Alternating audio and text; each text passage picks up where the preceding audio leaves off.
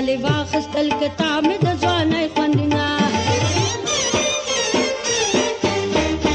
داسې به اون ګوري بیا پس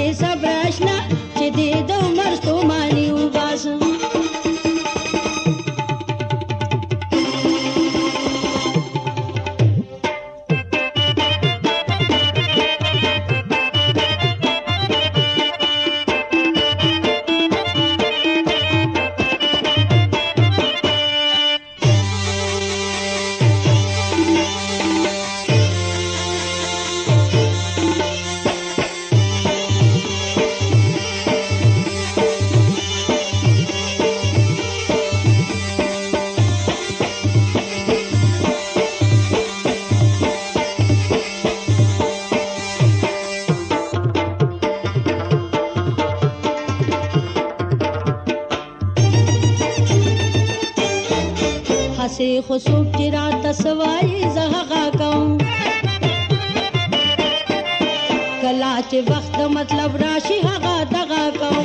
زه هر میند خپل محفل نه ارماني وباسم راشه بې صبره اشنا چې دې د عمر ستوماني وباسم چې دې د عمر ستوماني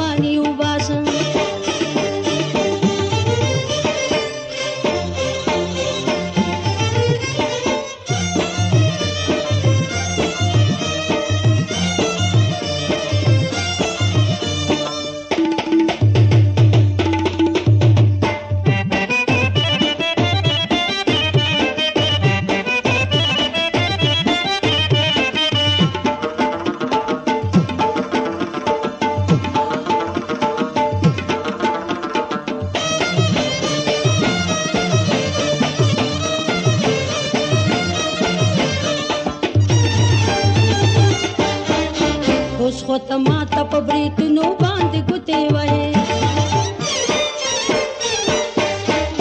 په تماچو پټو پکونو باندې ګوتې وې زبد یار د مدغو نه د خاني و باسم نشه به صبر آشنا چې دې د عمر ستومانی و